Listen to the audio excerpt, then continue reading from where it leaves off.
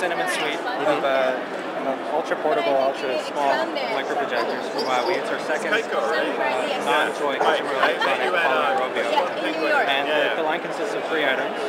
Our main item, the one coming out in June, is this one here, the Cinemin Swivel. And what's unique about it, besides being very light and small and, and having audio and uh, manual focus, is that it's got the hinge here.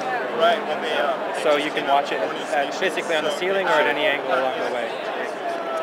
We're working with Texas Instruments, DLP, for a very clear and very sharp picture.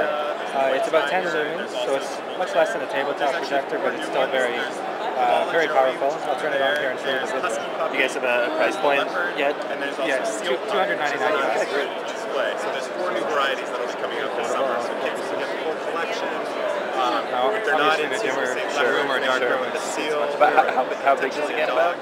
Um, it can get, I'd say, a little bit larger than this. Yeah, yeah. You can go into sleep mode. So that's a four, four feet, three or four feet, maybe?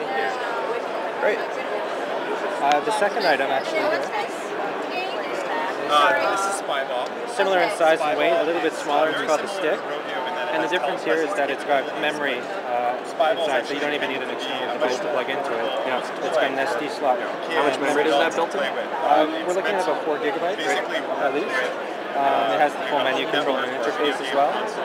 And then there's this one here called the Cinemin Station, where you can move them around, and I was explaining it has which is a little bit larger. And the idea here, and it's got a, a little bit sharper, um, not sharper, but a brighter projector as well. But big the audio to go with after the it's yeah, as well. It's got a dock here for the your driver iPhone, pops open, iPod, or and and, you can uh, see what it and you can sees. connect it. Oh, it's videos? And, and what, what's the price on the big one? Got video. Um, the big one is we're going for three ninety So how much is this This one's Uh, uh, this uh, would be three about forty nine, 149. two ninety nine.